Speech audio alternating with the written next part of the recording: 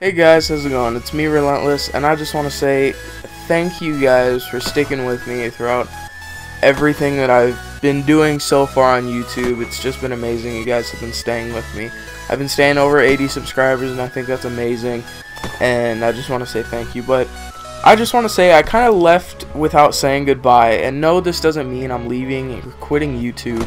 Um, I love posting videos but just doing a schedule is not going to work out for me. So I have some good and bad news that I want to talk to you guys about, and it made me start thinking about just some serious stuff.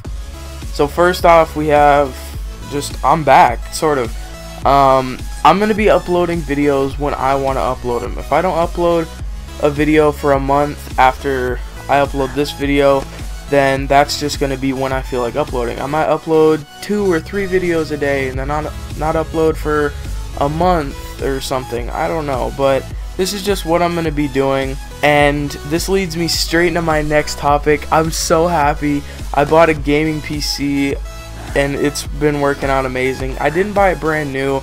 I did buy it but from a friend, but he spent over $2,000 just putting stuff in his computer and this is what I got and I spent 750 on it. It's an Alienware Aurora R2 it has two GTX 580s in it.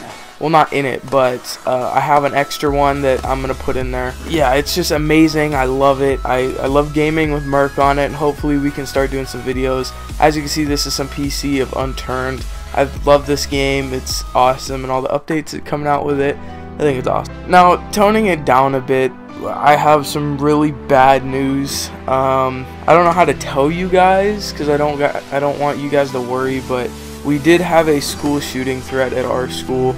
It it was so it was so unexpected from our school because we have these collective commitments that we go by, and I just think that it, it's kind of weird in a sense that like you don't you don't expect it from your school. But once it actually like happens or it's threatened it, it really like opens up your mind. And i'm gonna leave the article in the description down below but it it's just weird to think that it, it happens just all around the world and if it actually did happen some of my closest friends might not be here nothing like this happens again and no one got hurt nothing happened uh, he did get arrested but I just think that it it's I don't know. Our world is coming to an end pretty soon, I think.